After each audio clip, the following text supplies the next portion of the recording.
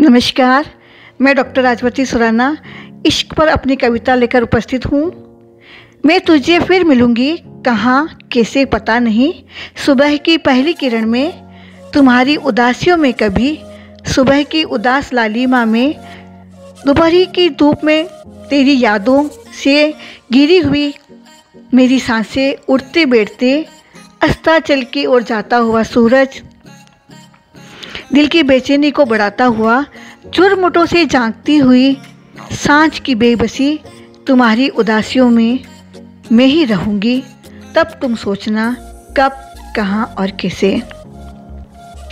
याद में मेरी तुम रहोगे खोए खोए से। नींद में याद कर मन से व्यथित होंगे। घर की छत को अब पलक निहारोगे, तब दुनिया तुमको अजीब सी लगेगी। सारी दुनिया के रंगीन नज़ारे तब बेरंग से लगने लगेंगे। तन्हाई में तुमको, तब मैं तुम्हारी निगाहों की उदासी मिटाऊँगी। तब तुम सोचना, ये कब, कहाँ और कैसे। बड़ी भीड़ में उत्सवों में जहाँ भी रहोगे, तुम्हारा अंतर मन पल पल तड़पेगा तुम बस मेरी ही यादों में डूबकर बेमन से लोगों से मुलाकात करते रहोगे।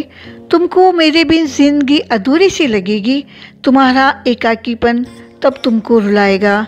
तब मैं होले से तुमको सहलाऊँगी। तब तुम सोचना कब, कहाँ और कैसे। मेरे बिन दिल तुम्हारा कहाँ लगेगा? तुम ऐसे ही तन्हाई में इधर